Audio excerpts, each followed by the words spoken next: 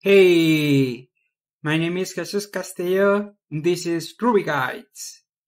In this video, I I'm going to share with you a code kata. Code kata. So what's that? What's a code kata? Well, a code kata is a basically a coding exercise program you have to write given a description um, very often, a good kata must have uh, some examples. Given this, you need to create or write the code to produce this output and to implement this description. Okay, so it's a little exercise, just like people in sports uh, practice specific movements, right? Then when you are doing a coding kata or a coding challenge, it just means the same thing. Coding challenge, coding kata, coding exercise. You are practice specific movements. You are practicing Ruby and you're learning different aspects and methods and things about how Ruby works. Another thing you're doing, you're also improving and working your problem solving skills, which is a very important to very important skill to develop. Okay, so let's get into this.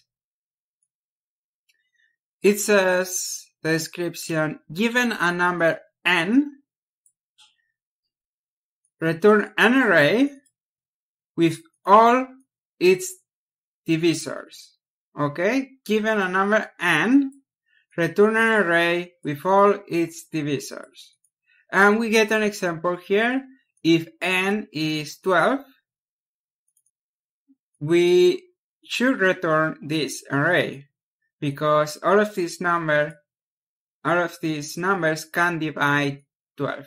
Now, if for some reason you don't understand what a divisor is, that's not a problem with your programming ability because when some people do these kind of exercises, they get stuck and not understanding the problem. The most important thing when you're trying to solve something or to do something is to understand what you are doing, understand what the problem is, understand the different parts of the description. In this case, the if you are new to Ruby, maybe you don't know what an array is. Well, you you need to go through a beginner's tutorial before you're able to do these basic um, challenges and there are more advanced challenges as well. This is a basic one. So if you don't know what a divisor is this is a math concept right? Well you can go to google or then you can search here. What is a divisor or what is a divisor in math or what's the defi- definition of divis- divisor, right? What does it mean? Well, we can search, and the one that really works for us here is this one. Okay, let me copy and paste that. It says divisors can also mean a number that divides an integer exactly. That's important part a number that divides an integer, but not only that, but exactly, no remainder. Okay, so we're going to use that. So that's our definition of the divisor, right? Be this is going to be the core of our solution because we need to know how to know, we need to be able to know if a number is able to divide another following this definition. So we can do this um, before we create this array. We just want to try how do we find if one number uh, divides another in Ruby. Well, we can try this. We have the modulo operator. This is called the modulo operator. And basically, this gives gives you the reminder. Right here it says no reminder. So if it says no remainder, wouldn't it be useful to be able to get the remainder? So that's exactly what the modulo operator does. So we can get any number. So let's say we can get 5. And if we look at the result of this, so we are here and we can see that the result of this operation, so this reads 12 modulo 5 is 2. What does this 2 mean? Well, 2 is the remainder of the division. So when we divide um, 12 um, in by 5, we get 2 left over. So the remainder is how many we have left over, right? If I try this with another number with like 4, we get 0. Why? Because there is no leftover when we are dividing 12 by 4. So that's what we're looking for. It says exactly. So divides and inter exactly. So that means there is no remainder. So no remainder means basically zero. So knowing this, now we can create a loop to check for this, right? Because we're going to check all of the numbers. So we're going to check for one. Is one divided by one leave any remainder? No. Uh, does remind uh, by two? No. By three? No. If I try, for example, nine. Yes, there is a reminder. So we're going to basically collect all of these numbers that don't leave a remainder.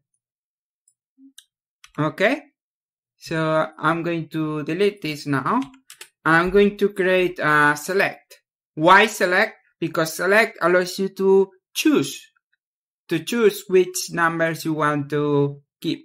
So we're going to do a range starting from 1 up to 12 and then we can do select. And here we have a block. And in here we can print the number just to see it. So you see we get 1 through 12 okay? And this editor because I know there is someone who's going to ask this editor is called Atom so we get this, and okay, now we need to filter to choose. How? Well, we apply the modulo operator, and the number is going to be n. So it's going to be 12 modulo n. So n is going to be this number. So it's going to be 1, 2, 3, 4, 5, 6, 7, 8, right? And then we have more, one more step. The step is to check against zero because if it's equal to zero, it means there is no remainder. And that was our definition in here for what a divisor is. So that's it. That's our solution. We can check with other numbers. It's very important that when you get a working solution, you don't think, oh, I am done. No, you want to check with other numbers and see if it works with other numbers. Because it might, it happens, it can happen that it works with one number, but it doesn't work with other numbers. So you want to make sure that to test with different numbers. So that doesn't become a problem. So I'm going to test with 8. And with 8, we will expect 2 and 4. Right? 1, 2, 1, 2, 4, and 8 to be the divisors. Let's see if that's true. And it is 1, 2, 4, and 8. These are the correct divisors. So we can conclude that 8 is working as well as 12. So we can test one more um, we can test, for example, um, let's try a prime number. What happens if we try with a prime number, like 11? Well, because it's a prime number, that's another math concept, which means that a number is only divisible by one and itself by one and itself. So that means that in here, we, we should get an array with one and 11 because that's the, that's one and itself. The number itself, which in this case is 11, which I happen to know it's a prime number. So let's see if that works. And ta-da! It does work. So that's pretty good. So yeah, you want to do this process. Don't get don't get don't assume that just because it works for one input, we call um, this input what's what is given to you. When I say given, that's what we call the input. It's given to you, it comes into your program. And when you return, we call this the output. So these are important uh, words to, to know. Input was given to you, output. What you give out as a result, the return value, right? So you want to test different inputs to uh, make sure that they work as expected. And then don't expect that if works for one, it will work for many. You want to test that. I hope uh, I I made that clear enough because I've seen people make this mistake a lot, especially beginners, right? But you can make this kind of mistake on any level. So there it is. That's our solution. Um, sometimes you have to put this inside a method. So we can do that. Um, find divisors and this method is going to take an argument, which is our input, again, given a number, that means input. And in here, we're going to translate our code and we're going to generalize it, which means we're going to take the part that doesn't change, that we're changing manually here, and this is called a hard code value. Hard code value We want to generalize it using the parameter. And the way we do this, we replace the hard code value by our parameter um, name, and there it is. Uh, now we should be able to delete those. Um, we should be able to use our method and to find divisors for any number that we want. So let's try 100 and see what happens. So there we go. That, there goes all of the our divisors. We don't really need this here. So that's all for the divisors, right? Again, we can try with a prime number. I think 21 is also a prime number. No, it's not. Um, half 7 is a prime number. Hold on. Something is not quite right here. Because, ah, we have a, we have an error in our code when I edit the translation. And the error is, let's find out. Hold on. One second. Our error is that we did and yes, as you can see that 11 we tested before, and we can see that this output, this result is not correct, right? It should be 1 and 11. So to fix that, we look at the code and we see that we make a little mistake here. We are saying n modulo n. So n is going to be the input, but it's also going to be the current number. So that's going to be one, two, three, four, five. So we want to change this to something else, to i, for example. And now i is going to be the list of numbers, the range of numbers, and n is going to keep being the input, the whole, the number that we're working with, right? So this will fix the problem as you will see right here. So there is fix and we can try this again. Let's try 7. Yeah, it works. Let's try 21.